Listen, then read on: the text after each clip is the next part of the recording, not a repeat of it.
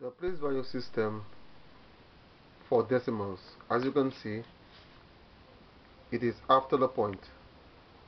You have tens column ones column then the decimal point and then you have tens hundreds if you go on thousands tens of thousands and so on.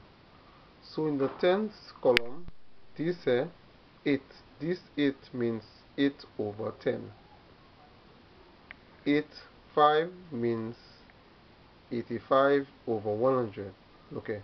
So 44.85 means 44 and 85 over 100 the second one you have 0 0.1 this is in the tens column so it's 1 over 10 that's the answer.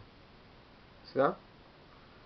And 5.24 it is actually 5 and 24 over what? Over 100 okay?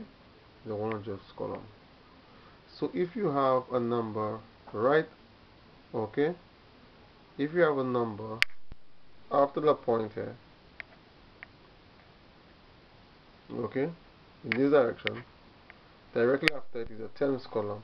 So if you have 5 it is 5 over 10 if you have 10 if you have let's say 9 sorry it is 9 over 10 if you have 6 here it will be 6 over 10 as a fraction.